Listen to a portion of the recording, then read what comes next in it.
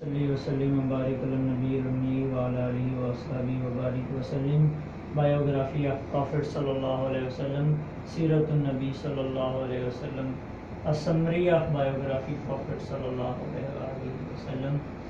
آپ صلی اللہ علیہ وآلہ وسلم کی محبت، مومن کے ایمان کی جان ہے۔ آپ صلی اللہ علیہ وسلم نے فرمایا اس کا کوئی ایمان نہیں جس سے مجھ سے محبت نہیں۔ اللہ لا ایمان علیم اللہ محبت رہو آپ صلی اللہ علیہ وسلم کی زندگی کو محبت کے ساتھ پڑھنا اور سیکھنا یہ بہت ضروری ہے۔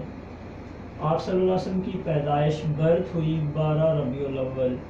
عام الفیل ایئر آف ایلیفنٹ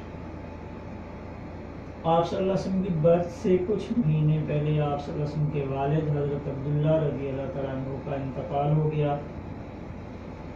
آپ صلی اللہ علیہ وسلم کی عمر چھ سال ہوئی تو آپ کی والدہ حضرت آمنہ رضی اللہ تعالیٰ عنہ کا انتقال ہو گیا۔ جب آٹھ سال کی عمر ہوئی تو آپ کے دادا حضرت عبد المطلب کا انتقال ہو گیا یعنی کی پاس روے جب آپ کی عمر بارہ سال تھی تو آپ اپنے چچا حضرت ابو طالب کے ساتھ سیریا کی طرف جا رہے تھے، ایک بزنس ٹرپ پر۔ لیکن راستے سے آپ صلی اللہ علیہ وسلم کو ایک یہودی یا عیسائی راہب موم کے کہنے پر واپس بھیج دیا گیا۔ جب آپ کی ایج ففٹین ایئر تھی، تو آپ ٹروس آف فضول، حلف الفضول کا آپ پارٹ بنے۔ بیسیکلی ایک پیس ٹریٹی تھا، جس میں جو چیف تھے پارٹیسپیٹ کرنے والے، ان کے نام لفظ فضل آتا تھا، اس لیے اس کو حلف الفضول یعنی ٹروس آف فضول کہا جاتا ہے۔ آپ کی عمر پچیس سال تھی، تو آپ کی حضرت خدیجہ رضی اللہ تعالیٰ عنہ سے شادی ہوئی at the age of twenty five years when prophet صلی اللہ علیہ وسلم was forty years old he used to go to for meditation at the cave of Hira غار ہرا میں آپ جاتے تھے عبادت کے لیے، تو وہاں جبریل علیہ السلام آئے۔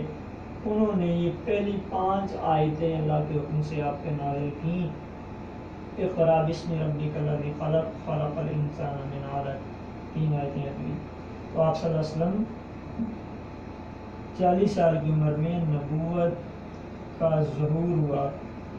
اس کے بعد آپ کے ارلی پروفٹ ہوڈ کے ایئرس جو ہیں فرسٹ ریویلیشن کے بعد جب آپ گھر آئے تو حضرت خدیجہ رضی اللہ تعالیٰ عنہ نے آپ کو بہت تسلی دی اور آپ کو اپنی کزن ورکا بن نوفل کے پاس لے کے گئیں، جو کہ ایک کرسچین اسکالر کرسچین موت تھا۔ جس نے بتایا کہ آپ صلی اللہ علیہ وسلم اللہ کے نبی بنائے گئے these are the sign of a prophet حضرت خدیجہ رضی اللہ تعالیٰ عنہ حضرت ابو بکر صدیق رضی اللہ تعالیٰ عنہ، حضرت علی رضی اللہ تعالیٰ عنہ، حضرت زید رضی اللہ تعالیٰ عنہ they are the early converts جنہوں نے سٹارٹ میں اسلام قبول کیا۔ آپ نے اپنے رشتہ داروں کو گھر میں کھانے کی دعوت پہ بلایا اور انہیں اسلام پیش کیا۔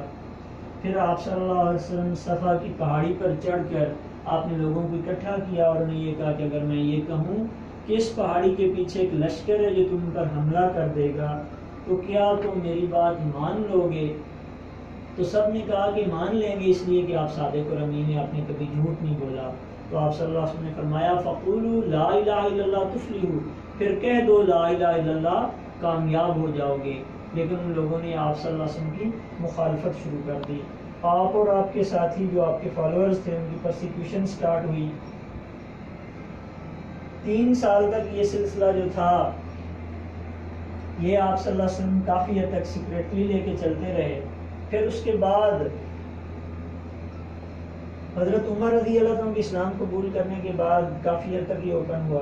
لیکن جب fifth year of profit route تھا تو آپ صلی اللہ علیہ وسلم نے کچھ لوگوں کو، اپنے صحابہ کو مائگریشن کا حکم دیا فرام مکہ ٹو ابیسینیا اس میں گیارہ مرد اور چار عورتیں تھیں جنہوں نے یہ پہلی ہجرت کی۔ This is first migration to Abyssinia پھر اگلے سال لوگوں کو یہ خبر پہنچی کہ مکہ کے لوگوں نے اسلام قبول کر لیا ہے۔ کافی لوگ واپس آئے لیکن واپسی پر پتہ چلا کہ یہ خبر صحیح نہیں تھی۔